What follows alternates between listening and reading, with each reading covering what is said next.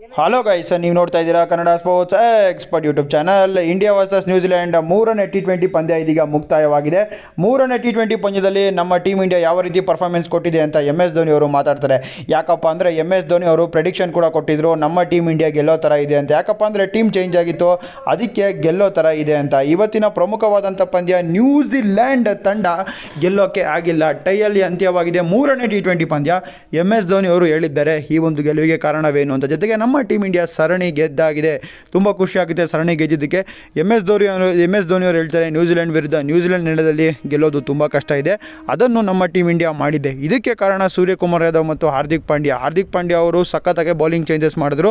ಜೊತೆಗೆ ಮಳೆ ಕೂಡ ಹೆಲ್ಪ್ ಮಾಡ್ತು. ಮಳೆಯಿಂದ ನಾವು ಈ ಒಂದು ಸೀರೀಸ್ನ ಗೆದ್ದಿದ್ದೀರಿ. ನಾನು ಹೋಗಿದ್ರು ಕೂಡ ಗೆಲ್ಲೋಕ್ಕಾಗ್ತಿರಲಿಲ್ಲ. ನ್ಯೂಜಿಲೆಂಡ್ ಬಲಿಷ್ಠ ತಂಡ. ಫೀಲ್ಡಿಂಗಲ್ಲಿ ನಂಬರ್ ಒನ್ ಇದೆ. ಬ್ಯಾಟಿಂಗ್ ಬೌಲಿಂಗು ಚೆನ್ನಾಗಿ ಮಾಡ್ತಾರೆ. ಆದರೆ ಇವತ್ತು ಗೆಲ್ಲೋಕ್ಕೆ ಆಗಲಿಲ್ಲ. ಯಾಕಪ್ಪ ಅಂದರೆ ಮಳೆ ಬಂತು. ಫಸ್ಟ್ ಮ್ಯಾಚಲ್ಲಿ ಮಳೆ ಬಂತು. ಮೂರನೇ ಮ್ಯಾಚಲ್ಲಿ ಮಳೆ ಬಂತು. ಸೆಕೆಂಡ್ ಮ್ಯಾಚಲ್ಲಿ ಸೂರ್ಯಕುಮಾರ್ ಯಾದವ್ ಸ್ಪೆಷಲ್ ಇತ್ತು.